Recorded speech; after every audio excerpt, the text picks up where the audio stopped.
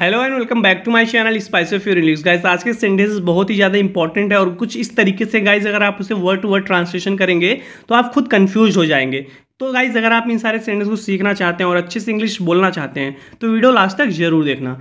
Guys चलिए शुरू करते हैं आज का हमारा पहला सेंटेंस है जो मैंने आज देखा हुआ मुझे एकदम से डरा दिया। What I saw today that totally freaked me out what I saw today that totally freaked me out जो मैंने आज देखा हुआ मुझे एकदम से डरा दिया। तो गाइज़ फ्रीक आउट इसका मतलब होता है कि डर जाना या डरावना। तो वही ये बोली जो मैंने आज देखा हुआ मुझे एकदम से डरा दिया। What I saw today that totally freaked me out क्या तुम्हें डर नहीं लगा?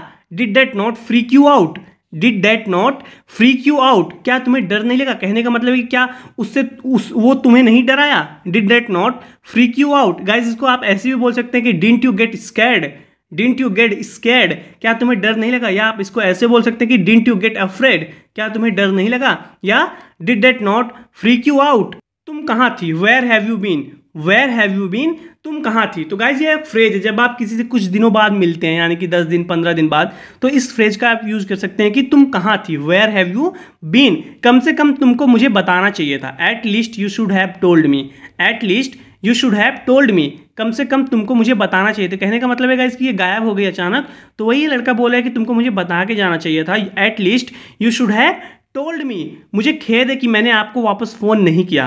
I am sorry that I didn't call you back I am sorry that I didn't call you back मुझे खेद है कि मैंने आपको वापस फ़ोन नहीं किया। I am sorry that I didn't call you back मेरे पास कहने को कुछ नहीं था। I didn't really know what to say I didn't really know what to say मेरे पास कहने को कुछ नहीं था. I didn't really know what to say कहने का मतलब उस टाइम पे मेरे पास मुझे समझ नहीं आ रहा था मैं क्या बोलूँ. I didn't really know what to say मैं समझ गया जब तुमने मुझे कॉल बैक नहीं किया.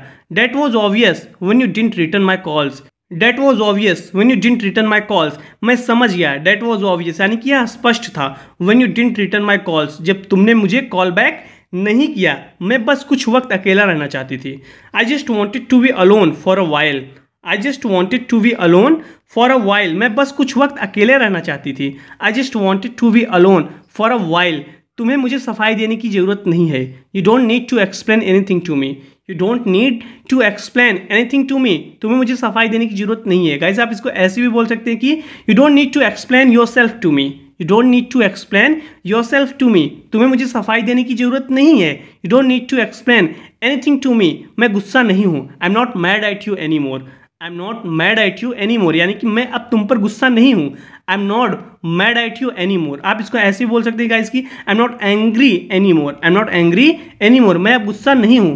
I am not mad at you anymore मुझे तुमसे मिलने की उम्मीद नहीं थी. I didn't expect to see you I didn't expect to see you मुझे तुमसे मिलने की उम्मीद नहीं थी. I didn't expect to see you मैं सिर्फ़ तुमसे सच सुनना चाहता हूँ. I just want to hear the truth from you I just want to hear the truth from you मैं सिर्फ़ तुमसे सच सुनना चाहता हूँ. आप इसको ऐसे भी बोल सकते हैं कि I just want you to be honest with me I just want you to be honest with me मैं तुमसे मतलब मैं चाहता हूँ कि तुम मेरे साथ ईमानदार बनो। या आप इसको ऐसे बोल सकते हैं, मैं सिर्फ़ तुमसे सच सुनना चाहता हूँ। I just want to hear the truth from you या I just want you to be honest with me मैं तुम्हारी मदद नहीं कर सकता, अगर तुम मुझे बताओगे नहीं।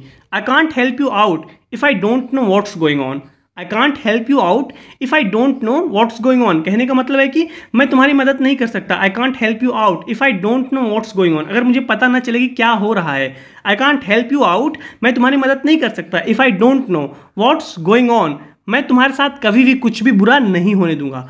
I will never let anything bad happen to you I will never let anything bad happen to you मैं तुम्हारे साथ कभी भी कुछ भी बुरा नहीं होने दूँगा.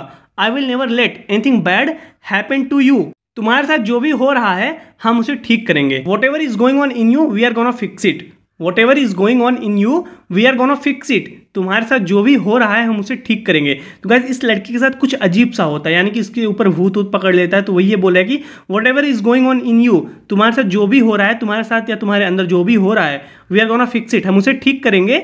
I will never let anything bad happen to you मैं तुम्हारे साथ कभी कुछ भी बुरा नहीं होने दूँगा। Whatever is going on in you तुम्हारे साथ जो भी हो रहा है we are gonna fix it हम उसे ठीक करेंगे। क्या कुछ है कहने को तुम्हारे पास? Have you got something to say have you got something to say क्या कुछ है कहने को तुम्हारे पास? Have you got something to say या आप इसको ऐसे बोल सकते हैं do you have something to say क्या कुछ है तुम्हारे पास कहने को? तुम बस अपने काम से काम रखो। You just mind your own business you just mind your own business तुम बस अपने काम से काम रखो। You just mind your own business हाँ मेरा उसके साथ चक्कर चल रहा था। Yes I had an affair with him yes I had an affair with him हाँ मेरा उसके साथ चक्कर चल रहा था। Yes I had an affair with him क्या यही सब जानना चाहती थी तुम? Is that all you wanted to know is that all you wanted to know क्या यही सब जानना चाहती थी तुम? Is that all you wanted to know तो गाइज़ ये इसको बता रही है, बोल रही कि yes I had an affair with him हाँ मेरा उसके साथ चक्कर चल रहा था। Is that all you wanted to know क्या यही सब जानना चाहती थी तुम? इधर उधर की बात मत करो साफ़ साफ़ बताओ। Don't beat around the bush tell me clearly don't beat around the bush tell me clearly इधर उधर की बात मत करो साफ़ साफ़ बताओ। तो गाइज़ ये फ्रेज है don't beat around the bush यानी कि इधर उधर की बात मत करो टेल मी क्लियरली साफ़ साफ़ बताओ। आप इसको ऐसे बोल सकते हैं गाइज़ कि कट द क्रैप यानी कि बकवास बंद करो कट द क्रैप या बोल सकते हैं कि cut the shit cut the shit या कट द क्रैप या आप इसको बोल सकते हैं इसकी don't beat around the bush इधर उधर की बात मत करो, बकवास मत करो. टेल मी क्लियरली साफ़ साफ़ बताओ. यह कोई बात करने का तरीका नहीं है. This is not the proper way to talk this is not the proper way to talk यह कोई बात करने का तरीका नहीं है. This is not the proper way ये कोई प्रॉपर वे नहीं है टू टॉक बात करने का. मैं यहाँ आने को मजबूर थी. I was compelled to come here I was compelled to come here मैं यहाँ आने को मजबूर थी. तो गाइज़ कंपेल्ड का मतलब होता है कि मजबूर. यह एडजेक्टिव है. I was compelled to come here और गाइज़ कंपल्शन का मतलब होता है कि मजबूरी मजबूरी कंपल्शन अगर आपको इसको ऐसे भी बोल सकते हैं कि it was my compulsion to come here यानी कि यह मेरी मजबूरी थी यहाँ आना. It was my compulsion to come here या I was compelled to come here मैं यहाँ आने को मजबूर थी। अगर तुमने मुझे बुलाया नहीं होता तो मैं नहीं आती। I wouldn't have come here if you hadn't called me तो गाइज़ ये कंडीशनल सेंटेंस है कंडीशनल थर्ड कंडीशनल थर्ड का मतलब होता है जब भी पास्ट में कुछ हो जाता है। तो आप बोलते हो कि अगर मैंने ऐसा नहीं किया होता तो ऐसा हो जाता, ऐसा किया होता तो ऐसा हो जाता। तो वहाँ पे गाइज़ आप कंडीशनल थर्ड का यूज़ करते हो। तो यहाँ पे ये बोल रहे कि अगर तुमने मुझे फुलाया नहीं होता तो मैं नहीं आती। I wouldn't have come here if you hadn't called me तो गाइज़ को आप इसको पलट के भी बोल सकते हैं कि if you hadn't called me I wouldn't have come here if you hadn't called me अगर तुमने मुझे बुलाया नहीं होता I wouldn't have come here तो मैं यहाँ नहीं आती। मैंने कभी नहीं सोचा था कि तुम इतनी स्वार्थी हो जाओगे। I had never thought that you would be so selfish I had never thought that you would be so selfish मैंने कभी नहीं सोचा था। I had never thought that तुम इतनी स्वार्थी हो जाओगे। You would be so selfish तुम्हें कोई अधिकार नहीं है मुझसे सवाल करने का। You have no right to question me you have no right to question me तुम्हें कोई अधिकार नहीं है मुझसे सवाल करने का। You have no right to question me तुम्हें क्यों लगता है कि कोई उसे मारना चाहता है? Why do you think that someone wants to kill her why do you think that someone wants to kill her तुम्हें क्यों लगता है कि कोई उसे मारना चाहता है? तो गाइज़ आप इसको ऐसे बोल सकते हैं कि what makes you think that तुम्हें क्यों, ऐसा क्यों लगता है? What makes you think that या what drives you think that तुम्हें क्यों लगता है? तुम्हें ऐसा क्यों लगता है? What makes you think that what drives you think that why do you think that someone wants to kill her कि कोई उसे मारना चाहता है। हमें फंसाया गया था। We were bugged we were bugged हमें फंसाया गया था। गाइज़ ये पैसिव वाइज सेंटेंस है। वी वर बग्ड यानी कि हमें फंसाया गया था। गाइज़ बग का मतलब होता है कि फंसाना, ठगना, या आप बोल सकते वी वर डिसीव्ड हमें धोखा दिया गया था। वी वर चीटेड हमें चीट किया गया था। तो इस तरीके से आप यूज़ कर सकते हैं। वी वर बग्ड हमें फंसाया गया था। अभी वहाँ से निकलो। Get out of there right now get out of there right now. अभी वहाँ से निकलो, get out of there right now. मुँह ढक लो, कहीं ऐसा ना हो कि कोई देख ले। Cover your face, lest anyone should see.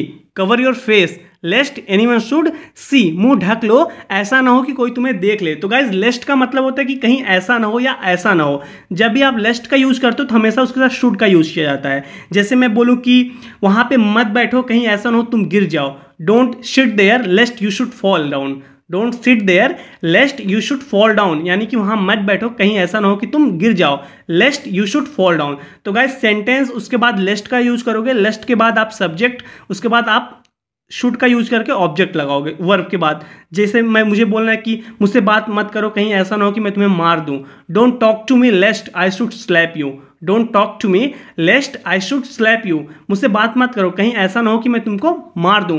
या आप ऐसे बोल दो कि work hard lest you should fail मेहनत करो, कहीं ऐसा ना हो कि तुम फेल हो जाओ। Work hard lest you should fail तो इस तरीके से गाइज़ लेस्ट का यूज़ हमेशा कर सकते हैं आप, कहीं ऐसा ना हो कि सेंस में। और याद रखना कि लेस्ट के बाद हमेशा शुड का यूज़ किया जाता है। जहाँ भी लेस्ट का यूज़ करोगे, वहाँ आपको शुड लगाना ही लगाना है। तो इस तरीके से गाइज़ आप सेंटेंस बना सकते हो। वेल गाइज़ आज इस वीडियो में इतना ही। ज़रूर बताना कि वीडियो कैसी लगी। और वीडियो अच्छी लगी हो तो वीडियो को लाइक कीजिए और कॉमेंट करके गाइज़ ज़रूर बताइए।